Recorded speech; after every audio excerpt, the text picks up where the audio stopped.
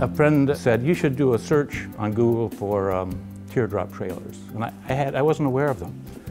And as soon as I saw them, I thought, oh, that's, that's like a piece of furniture. It's something small that I think I could accomplish with my woodworking skills. And I knew that I was going to have to start a business. I, could, I was going to have to buy myself a job because what I was doing for my brother-in-law wasn't cutting it. So I decided to make teardrops. But, well, first of all, about teardrops, they're small, they're cute, they're shiny. They kind of have this come hither feel about them.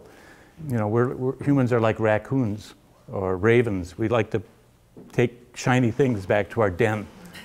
And, and uh, so while I, was, while I was in Wyoming, I bought this, what, what I should have bought, uh, a silver streak uh, should have been about $2,000. I bought for 8000 brought it home, gutted it, and now it's sitting in my backyard completely gutted. But, uh, but in the meantime, I found, I discovered teardrops. Now the problem with teardrops is that um, you get inside them, they're very claustrophobic. And um, that was just a big disappointment to me. A lot of people are now making, or in the past, uh, in, in the 30s and 40s, uh, would make these trailers and try to um, solve that uh, claustrophobic problem by, by making slide outs or you crank it open or you inflate it. Um, and I didn't want to do that. I, I, thought, I felt more like this is like a sailboat. A small sailboat has to have everything you need.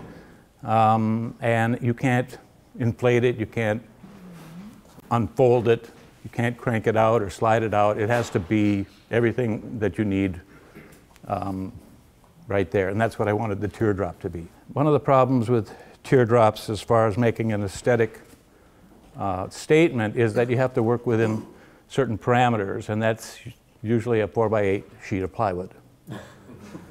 and uh, some people will opt for um, designing as much space into it as, as they can, and some a more boxy type shape, and some people will want more a more streamlined uh, shape, and then you lose you lose your storage, but you gain some aesthetics. If I turned around and looked towards the front of the trailer, well, I've, you've already, if we can go back one, go back another one. You've already got headroom in the middle of these trailers. And I thought, well, I, I'll just put a couch here and I'll put a big window in. Um, and so what that did was it allowed the front of the trailer to, be, to kind of fall uh, nicely and become more aerodynamic. And, uh, and then the window became not only, uh, it gave you a gaze to the horizon, but when you laid down, a, a, full view of the night sky. And, and then I just thought that, that's that's what I'd want if I were to go on a trailer. I'd want to have a, a good view of the outside. Also, the, the doors are um, in, the, in, the, Vistabule are designed to be wide so that you can sit half in, half out, and not you're not just sitting um, in this little doorway or, or passing through. It's, a, it's not just a passage to come in or go out. So we started making them, and it just seems like we hit a chord. People seem to call and understand. Like, you know, I'm interested in your trailers. I see what you're doing. I know what you're doing. You know, you know. Well, what are we doing? Well, that front window is like, you know, none of none of the other trailers have that. I've got to, I've got to have that. And the sofa bed, of course, I I was a, in my woodworking years, I, I made a lot of futon frames. Uh, that things that you know, couches that turn into beds or cots that turn into chairs, and and so when I was making this, I thought I I got to put a futon in there. Why can't I have a, a couch that folds into a bed, which made the whole uh, sitting in a comfortable position and looking out the window kind of, it, it kind of made the trailer, I think. So people couldn't, can't find that in, in a typical teardrop. Part of this business is the people who buy them and where they take them. And it, it's it seems like there's a lot of layers of meaning involved in, in, in, a, in a small trailer in, in um, RVing, although Vistabule is not really RVing. Uh, RVing is a social kind of gathering type of thing. People go to RV parks. Vistabule or teardroppers, they go on an adventure.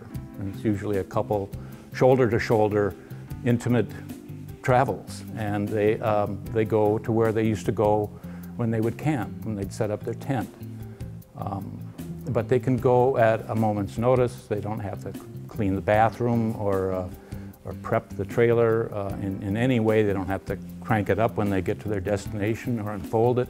It's just always kind of ready to go.